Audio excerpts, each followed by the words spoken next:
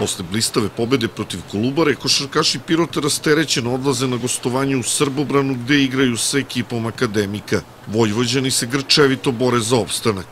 Zadnje dve utakmice su pobedili kod kuće, Grčevito se bore za to četvrto mesto pozadi, što ja kažem, koje u nekim kalkulacijama ostavlja ekipu u istom rangu takmičenja, tako da je njihova neka kalkulacija da sve tri utakmice moraju da pobede, između ostalog i nas, ove ostale nas nešto, e, da kažem, ne zanima šta će da urade ove druge dve utakmice u subotu i u bilo kojem rosteru da izađemo, mi smo sigurno, da kažem, favoriti i sigurno možemo da igramo sa njima.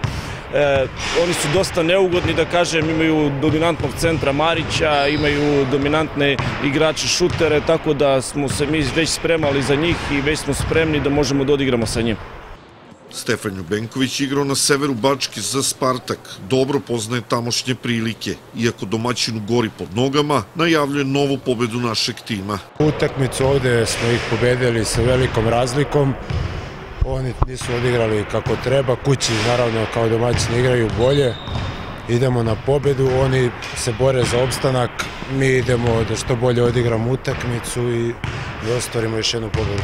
Sudije ti ne daju da igraš, ne znam, kriterijum je uvek čudan, kao da znaju da treba na vreme da ti izbaci iz igre sa tri ili četiri penala. E, dobro, ja sam naviku malo drugačiju košarku sam igrao kod drugog trenera, malo čvršće i to.